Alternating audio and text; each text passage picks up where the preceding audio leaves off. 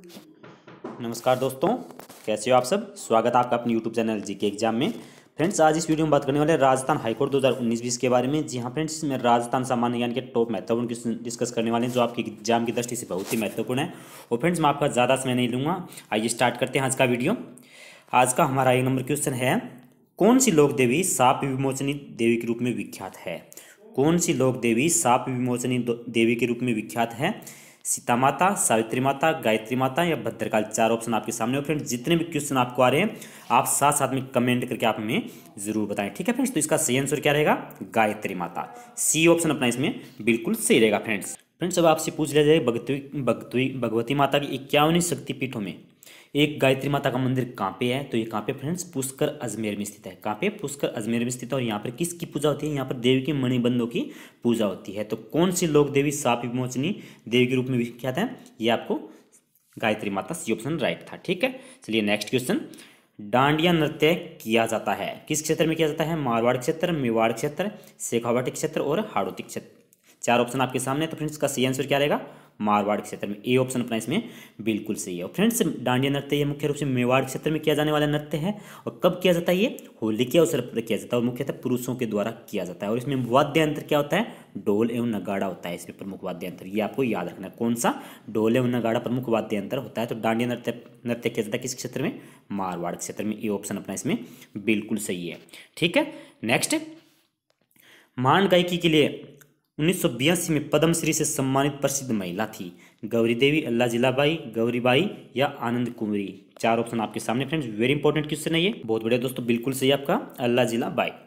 B option अपना इसमें बिल्कुल सही और फ्रेंड्स, राजस्थान में पद्मश्री से किन किन को महिलाओं को सम्मानित किया गया, वो भी मैं आपको बताऊँगा और मांड गाय, गायकी शास्त्रीय गायन की सेल लोक शैली, ये भी आपको पता होना चाहिए। और राज्य में जैसलमेरी मांड, बीकानेरी मांड, जयपुर की मांड और जोधपुरी मांड प्रसिद्ध है, ठीक है? तो राजस्थान में पद्मश्री से सम्मानित महिलाएँ कौन कौन सी है, वो मैं आपको बता देता हूँ।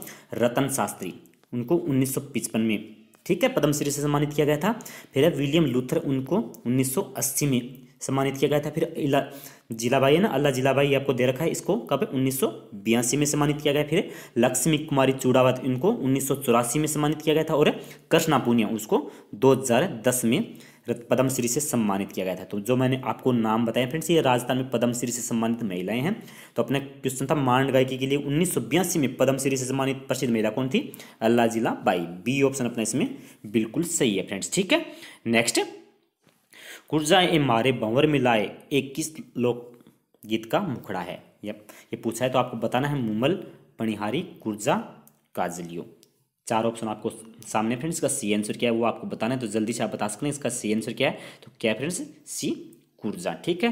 राजस्थान लोक जीवन में वीरनी द्वारा अपने प्रीतम को संदेश भिजवाने तो कुर्जा पक्षी को माध्यम बनाकर कुर्जा लोकगीत गाया जाता है, जिसमें इसमें सही आंसर क्या रहेगा?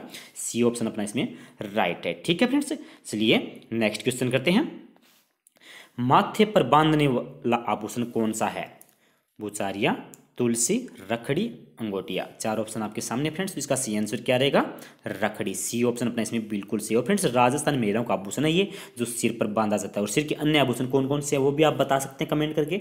मैं आपको बता देता हूँ कौन कौन से शीश पट्टी, फीणी शीश फूल, मोली, मेमंद, सुरमांग, टिकड़ा, सांकली, बोरला, बोर मांग टिक्का इत्यादि है, सिर पर बांधे जाने वाले आभूषण है, ये आपको पता होना चाहिए फ्रेंड्स। ठीक है, और मैं आपके लिए आभूषण से संबंधित एक स्पेशल वीडियो भी लेकर आ रहा हूँ तो आप तैयार रहना फ्रेंड्स उसके लिए।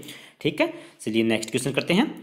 राजस्थानी वेशभूषा में चाँद व तारों की छाप वाला वस्त्र क्या कहलाता है? Very important question friends. Rajasthani वेशभूषा में चाँद व तारों की छाप वाला वस्त्र क्या कहलाता है? दौड़, चाँद तारा, ताकी पटनी वेरी इंपॉर्टेंट क्वेश्चन फ्रेंड्स जल्दी से बताएँ इसका सी आंसर क्या रहेगा? वेरी इंपॉर्टेंट क्वेश्चन है फ्रेंड्स बिल्कुल सही दोस्तों, बिल्कुल सही आपका इसमें बी ऑप्शन अपने इसमें राइट रहेगा। राजस्थानी वेशभूषा में चाँद व तारों की छाप वाला वस्त्र क्या कहलाता है? चाँद तारा कहलाता है, ठीक है? अब इस क्वेश्चन में बात है दौड़।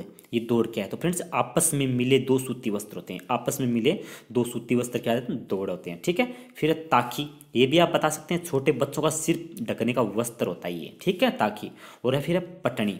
एक बहुमूल्य वस्त्र है फ्रेंड्स ये भी आपको पता होना चाहिए, बहुमूल्य वस्त्र है, ठीक है, पटनी। तो अपना इस क्वेश्चन का सी आंसर क्या रहेगा? बी ऑप्शन अपना इसमें राइट रहेगा, ठीक है?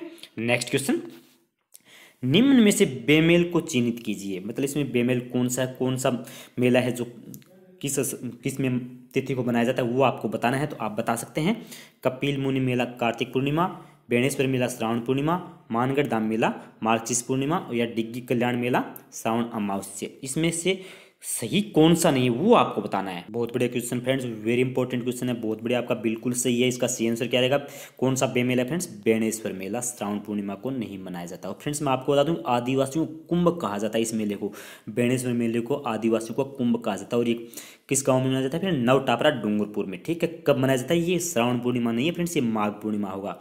कब आयोजित होता है? माघ पूर्णिमा को आयोजित होता है बेणेश्वर मेला, ठीक है? तो बी ऑप्शन अपने इसमें राइट रहेगा, जो कि बे मेला मतलब सही नहीं है, ठीक है? चलिए, नेक्स्ट क्वेश्चन करते हैं।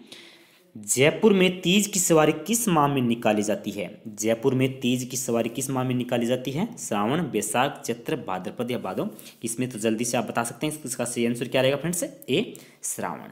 ठीक है फ्रेंड्स श्रावण मास में शुक्ल पक्ष की तृतीया को राजस्थान में छोटी तीज का त्यौहार मनाया जाता है और तीज के दिन जयपुर में तीज की सवारी निकाली जाती है। तो ए ऑप्शन अपना इसमें बिल्कुल सही रहेगा फ्रेंड्स और फ्रेंड्स इस ये आपको पीडीएफ फ़ाइल आपको व्हाट्सअप ग्रुप में मिलती रहेगी। अगर आप उसका वीडियो देखने चाहते हो तो आपको इस चैनल पे, इस लिंक पे आप क्लिक करके आप सीधे यूट्यूब के चैनल पे चले जाओगे। आपके वहाँ से जितने भी वीडियो हैं, राजस्थान हाईकोर्ट के और जितने भी वीडियो बने हुए हैं, वो सारे वीडियो आप देख सकते हो, ठीक है? चलिए नेक्स्ट क्वेश्चन मंदिर और स्थान के निम्नलिखित जोड़ों में से कौन सा सही ढंग से मेल नहीं रखता है? एक स्थान में मंदिर है फ्रेंड्स और दूसरे स्थान साइड में स्थान है। मतलब सास बहु मंदिर टोंक में, कपिल मुनि मंदिर कोलायत में गोविंद जी मंदिर जयपुर में एक लिंगी मंदिर उदयपुर में। वो आपको बताना है तो इसमें सही सही कौन सा नहीं है? वो आपको बताना है वेरी इंपॉर्टेंट क्वेश्चन है फ्रेंड्स जल्दी से आप बता सकते हैं तो इसका सी आंसर क्या रहेगा फ्रेंड्स ए ऑप्शन इसमें राइट रहेगा। सास बहु मंदिर टोंक में नहीं है। फ्रेंड्स कहाँ पे ये कहाँ पे है ये नागदा में, ठीक है? ये आपको याद रखना है कहाँ में। और कपूल कपिल मुनि में कोलायत में, ठीक है? गोविंद जी मंदिर जयपुर में सही और एकलिंग जी मंदिर कहाँ ये? उदयपुर में बिल्कुल सही है। तो ये आपको याद रखना सास गो मंदिर कहाँ है फ्रेंड्स? नागदा में ए ऑप्शन अपना इसमें राइट रहेगा, ठीक है? और फ्रेंड्स मैं आपको बता दूँगा, आपके हाईकोर्ट ग्रुप डी से अगर आपको बुक चाहिए फ्रेंड फ्रेंड्स, आपको cash on delivery free discharge delivery में आपको मिलेगा। तो देख लीजिए आप यहाँ पे राजस्थान उच्च न्यायालय जोधपुर द्वारा आयोजित चतुर्थ श्रेणी कर्मचारी पदों की भर्ती के लिए कार्यालय चपरासी समतुल्य पद तो आवश्यक पुस्तक पाठ्यक्रम के अनुसार आपको मिलती है। कंप्लीट स्टडी गाइड मिलेंगे आपको प्रैक्टिस सेट भी है मॉडल पेपर भी सोल्व पेपर अवेलेबल भी है। फ्रेंड्स, ये आप देख सकते हैं, अगर आप दो सौ से अगर, फ्रेंड्स, अगर आप ऊपर की बुक्स खरीदते हो तो आपको डिलीवरी चार्ज भी नहीं देना पड़ेगा। फ्रेंड्स, अगर आप देखो, दस special offer on Rajasthan high court group D get ten percent extra discount at the time of order placing और फ्रेंड्स, आप W W dot book art dot com से ये किताबें अपने मंगा सकते हैं। तो फ्रेंड्स वेरी इंपॉर्टेंट देख सकते हैं आपके लिए। आप घर बैठे बुक मंगा सकते हैं। अगर दो सौ रुपये से अगर ऊपर की अगर बुक मंगाते हो तो आपको जो चार्ज लगता है डिलीवरी का वो आपको नहीं देना पड़ेगा। और ज़रूर नहीं फ्रेंड्स आप हाई कोर्ट की मंगाओ। जितने भी कंपटीशन एग्ज़ाम की तैयारी सारी की कंपटीशन के आप अलग अलग कंप्लीट गाइड मंगा सकते हो प्रैक्टिस सेट भी मंगा सकते हो मॉडल पेपर भी मंगा सकते हो। ठीक है तो फ्रेंड्स आप W W W dot book art cart dot com को आप विज़िट ज़रूर करें। ठीक है, चलिए नेक्स्ट क्वेश्चन देवड़ा वाटी क्या है? देवड़ा वाटी क्या है? मारवाड़ की उपबोली, ढूंढाड़ की उपबोली मालवी की उपबोली या मेवाड़ की उपबोली, वो आपको बताना है फ्रेंड्स वेरी इंपॉर्टेंट है। तो क्या है मारवाड़ की उपबोली है। देवड़ा वाटी क्या है मारवाड़ की उपबोली है, जो सिरोही क्षेत्र में बोली जाती है। कहाँ पे? सिरोही क्षेत्र में। और इसका दूसरा नाम भी फ्रेंड्स सिरोही है। ये आपको याद रखना है। देवड़ा वाटी इसका दूसरा नाम क्या है फ्रेंड्स सिरोही। ठीक है, याद रखना है आपको। चलिए नेक्स्ट क्वेश्चन बातारी फुल, फुलवारी नामक लोक कथाओं के संग्रह की रचना किसने की? कोमल कोठारी, हेमंत शेष, विजयदान देथा या सुमनेश जोशी ने? किसने फ्रेंड्स, ये आपको बताना है। तो इसका सी आंसर क्या रहेगा? Vijaydan Vijaydan Detha C option friends, इसका अपना बिल्कुल सही रहेगा फ्रेंड फ्रेंड्स, ये आपको पता भी है, विजयदान देथा किस नाम से प्रसिद्ध है फ्रेंड्स बीजी के नाम से प्रसिद्ध है इनका जन्म बोरुंदा, जोधपुर में हुआ था। और राजस्थान के प्रसिद्ध साहित्यकार भी है फ्रेंड्स, इन्होंने बातारी फुलवारी, ठीक है? बातारी फुलवारी नामक ग्रंथ चौदह खंडों में लिखा था। ये आपको पता होना चाहिए और दसवें खंड को केंद्रीय साहित्य अकादमी पुरस्कार भी मिला इनको। दसवें खंड को केंद्रीय साहित्य अकादमी पुरस्कार भी मिला कि इनको विजयदान देता को सी ऑप्शन अपना इसमें बिल्कुल सही रहेगा।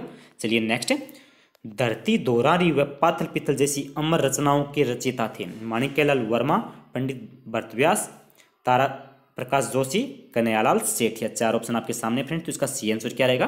कन्हैयालाल सेठिया फ्रेंड्स और इनका जन्म कहाँ हुआ फ्रेंड्स सुजानगढ़, चूरू में 1919 में हुआ था। ये आपको याद रखना है फ्रेंड्स ठीक है? पाथर और पित्तल इनकी प्रसिद्ध रचना और इन्हें पद्मश्री तथा राजस्थान रत्न से भी सम्मानित किया गया किनको?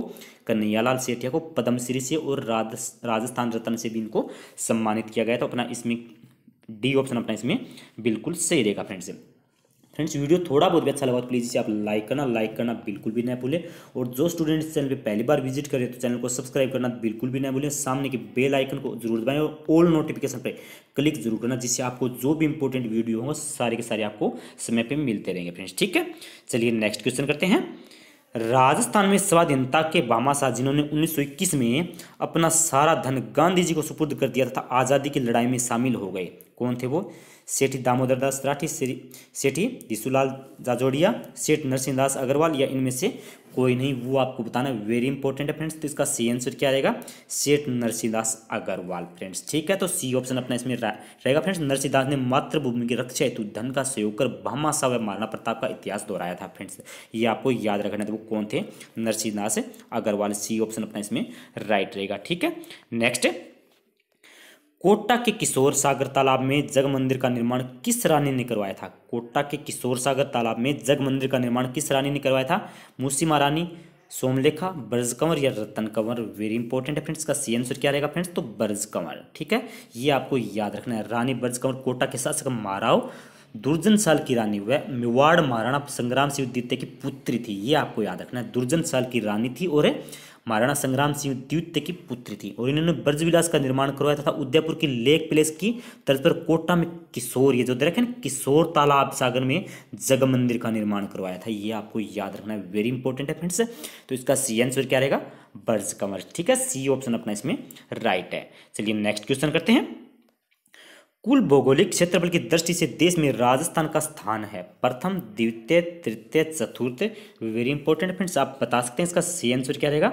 बिल्कुल इजी क्वेश्चन है फ्रेंड्स बिल्कुल इजी क्वेश्चन प्रथम स्थान ए ऑप्शन फ्रेंड्स क्षेत्रफल की दृष्टि से राजस्थान देश का सबसे बड़ा राज्य है और इसका क्षेत्रफल कितना है फ्रेंड्स आपको पता होना चाहिए, तीन लाख बयालीस हज़ार दो सौ उनचालीस वर्ग किलोमीटर, ठीक है? और राजस्थान के बाद किसका आता है? किसका था फ्रेंड्स? मध्य प्रदेश का था। ये भी आपको पता होना चाहिए फ्रेंड्स वेरी इंपॉर्टेंट है ये। फ्रेंड्स, जिसके बाद मध्य प्रदेश है, महाराष्ट्र है और उत्तर प्रदेश है, उसका भी फ्रेंड्स, आपको पता होना चाहिए कितने किलोमीटर में ये आप कमेंट करके मुझे ज़रूर बताएँ। और जो मैंने आपको बताया भारत के सबसे बड़े राज्य है फ्रेंड्स, ठीक है?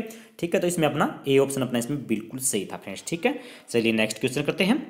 लोक देवता गोगा जी के गुरु कौन थे? लोक देवता गोगा जी के गुरु कौन थे? बालकनाथ, गोरखनाथ, जसनाथ, जम्बेश्वर। चार ऑप्शन आपके सामने। वेरी इंपॉर्टेंट फ्रेंड तो इसका सी आंसर क्या है फ्रेंड्स गोरखनाथ। बी ऑप्शन अपना इसमें सही है। गोगा जी का जन्म गुरु गोरखनाथ के आशीर्वाद से हुआ था फ्रेंड्स और इन्हें सर्पदंश के बचाव हेतु पूजा जाता है। तो बी ऑप्शन अपना इसमें बिल्कुल सही है। चलिए नेक्स्ट क्वेश्चन करते हैं फ्रेंड्स वेरी इंपॉर्टेंट है। द्विचक्री नृत्य किया जाता है। ग्रासियों द्वारा, बिलो द्वारा कथोड़ियों द्वारा या कालबेलियों द्वारा किया जाता है? चार ऑप्शन आप फ्रेंड्स बहुत बढ़िया क्वेश्चन बिल्कुल सही आपका। किसके द्वारा किया जाता है फ्रेंड्स बिल्कुल सही है। बी ऑप्शन अपना इसमें बिल्कुल सही है। किसके द्वारा किया जाता है? चक्र नृत्य बिलों द्वारा किया जाता है फ्रेंड्स चक्र नृत्य, लोक नृत्य, विवाह, मांगलिक अवसरों पर बिल, स्त्री पुरुषों द्वारा किया जाना वाला वर्ताकार नृत्य है फ्रेंड्स ये आपको पता होना चाहिए। जिसमें पुरुष बारे, वर्त में और वर्त में स्त्रियाँ अंदर के वर्त में होती है। इसमें स्त्रियाँ होती है और बार का जो वर्त होता है, इसमें पुरुष होते हैं। फ्रेंड्स वेरी इंपॉर्टेंट है, याद रखना आपको, ठीक है? चलिए नेक्स्ट क्वेश्चन करते हैं फ्रेंड्स। निम्न में से कौन सा दर्शनीय स्थल उदयपुर में स्थित है? गुरु गोविंद सिंह चट्टान बाग टूस्का सूर्य मंदिर, चिल्ला शरीफ, उपयुक्त सभी। चार ऑप्शन है फ्रेंड्स वेरी इंपॉर्टेंट आप जल्दी से करके बताएँ फ्रेंड्स इसका सी आंसर क्या रहेगा? तो फ्रेंड्स इसका सी आंसर है उपयुक्त सभी। डी ऑप्शन अपने इसमें राइट रहेगा। फ्रेंड्स गुरु गोविंद से चट्टान बाग, फतेह सागर झील के सर्पाकार मार्ग में पहाड़ी पर निर्मित है ये। ठीक है, ये आपको याद रखना कहाँ पे? फतेह सागर झील के सर्पाकार मार्ग में पहाड़ी पर निर्मित है। ठीक है, फिर टूस का सूर्य मंदिर टूस का सूर्य मंदिर, ये राज्य सरकार का संरक्षित स्मारक है फ्रेंड्स ये भी आपको याद रखना है। और फिर है चिल्ला शरीफ। ठीक है? सी ऑप्शन में ना चिल्ला ये हज़रत गुलाम रसूल साहब रहमतुल्ला अली की मज़ार है। क्या है फ्रेंड चिल्ला शरीफ ये आपको बताना क्या है फ्रेंड्स ये? हज़रत गुलाम रसूल साहब रहमतुल्ला अली की मज़ार है फ्रेंड्स तो इसका सी आंसर अपना डी ऑप्शन ये उपयुक्त सभी उदयपुर में स्थित है फ्रेंड्स ठीक है? चलिए नेक्स्ट क्वेश्चन करते हैं फ्रेंड्स राजस्थान राज्य का पूर्व, पश्चिमी, उत्तर, दक्षिणी देशांतरीय एवं विस्तार कितना है फ्रेंड्स? वो आपको बताना है। वेरी इंपॉर्टेंट फ्रेंड्स कितना है फ्रेंड्स? जल्दी से आप बताएँ। आठ डिग्री सैंतालीस तथा सात डिग्री तीस से। चार ऑप्शन आपके सामने, इसमें से कौन सा सही रहेगा? जल्दी से बताएँ फ्रेंड्स। तो बिल्कुल सही आप लोगों का कितना है फ्रेंड्स? डी ऑप्शन अपना इसमें बिल्कुल सही है फ्रेंड्स। ठीक है? चलिए नेक्स्ट क्वेश्चन आम खाना का पेट गिनना का अर्थ है। आम खाना का पेट पेड़ गिनना का अर्थ है सही। आपको बताना है, मनुष्य को अपने काम से मतलब रखना चाहिए। समय के हाथ से काम करने पर ही काम पूरा पड़ता है। अभी तक तो कुछ नहीं बिगड़ा, ये बुद्धि किसी की बपोती नहीं होती। तो कौन सा सही रहेगा फ्रेंड्स? मनुष्य को अपने काम से मतलब रखना चाहिए। ये ऑप्शन अपना इसमें बिल्कुल सही है। ठीक है फ्रेंड्स? तो तो फ्रेंड्स, ये थे हमारे आज के टॉप ट्वेंटी क्वेश्चन इसमें से आपने कितने क्वेश्चन सही किए, कितने क्वेश्चन सही, वो आप हमें कमेंट करके ज़रूर बताएँ फ्रेंड्स। वीडियो अगर आपको अच्छा लगा तो इसे आप लाइक करना फ्रेंड्स लाइक करना बिल्कुल भी नहीं भूलिए फ्रेंड्स आप, अपने लिए ज़्यादा नहीं तो दस से पंद्रह मिनट का समय ज़रूर निकाले फ्रेंड्स ठीक है? जितने भी हम क्वेश्चन लेके आते हैं उससे आपको एक्स्ट्रा क्वेश्चन मिले। जैसे हम आज हमने बीस क्वेश्चन पढ़े तो मेरे हिसाब से आपको दस से पंद्रह क्वेश्चन आपको एक्स्ट्रा ही मिले हैं फ्रेंड्स ठीक है? जो आपके एग्ज़ाम की दृष्टि से बहुत ही महत्वपूर्ण फ्रेंड्स आपके एग्ज़ाम कभी भी हो सकते हैं अप्रैल के बाद कभी भी हो सकते हैं तो आप तैयार रहे अपनी स्टडी जारी रखें और फ्रेंड्स किसी प्रकार की कोई फालतू की बात हो मतलब जो भी वीडियो आते हैं ना कि आपके एग्ज़ाम अभी होने वाले वो आप बात छोड़ो। और जितने भी अगर आपको नोटिफिकेशन मिलेगा तो आपको बता दिया जाएगा कि आपकी एग्ज़ाम कब होगी। तो बस आप अपने मन लगाकर अपनी स्टडी जारी रखें फ्रेंड्स ठीक है? तो दोस्तों, फिर कल मिलेंगे एक नई वीडियो के साथ। तब तक के लिए जय हिंद, जय भारत।